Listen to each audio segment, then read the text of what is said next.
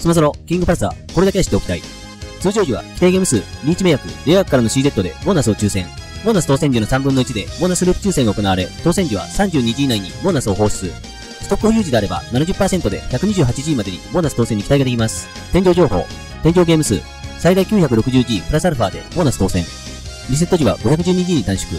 アーラナイエンスに関して、通常時 128G 消化ごとにサブ液をタッチすると、ストック数や規定ゲーム数などを示唆する演出が出現します。注目ポイントとして、ケロット柄メダル出現時は、ストックが5個以上濃厚で、ボーナス当選時は 128G 以内の連チャンに期待が持てます。大量獲得ケーキは、ボーナス当選時のボーナスループから始まることから、金メダル以上から狙っていきたいところです。やめ焼き。ボーナス後、128G 消化後、アウラネ確認後、やめ。金やケロット柄出現時は続行推奨。初代金パレではストックの有無がとても重要であっただけに、今作の内部ストックがとても気になるところです。